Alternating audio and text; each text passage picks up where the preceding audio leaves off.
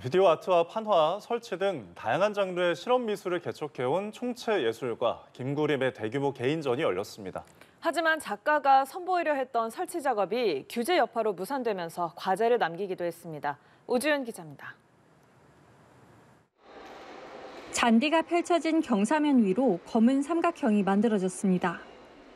삼각형 모양으로 잔디를 태워 만든 것으로 한 번 불타버린 잔디는 시간이 흘러 새싹이 돋아나도 이전의 모습과는 같을 수 없습니다.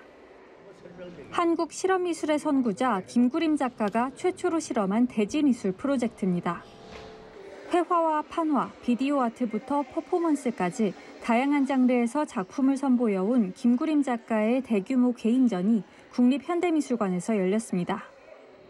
다음 달 개최되는 아시아 최대 규모 아트 페어인 키아프와 프리즈 서울 기간에 맞춰 국립현대미술관이 야심차게 선보인 전시인데 정작 주인공인 김구림 작가는 쓴소리를 내놨습니다.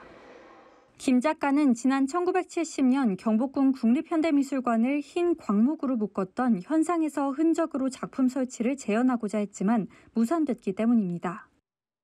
그 당시는 그래도 그러한 작품이 설치는 되었다가 철거됐지만은 지금 40년이 지난 오늘에 와서는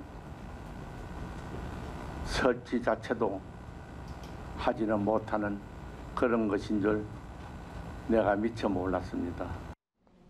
문화재 보호를 위한 규제가 작가의 예술 활동을 제약하는 문제를 작심 비판한 겁니다.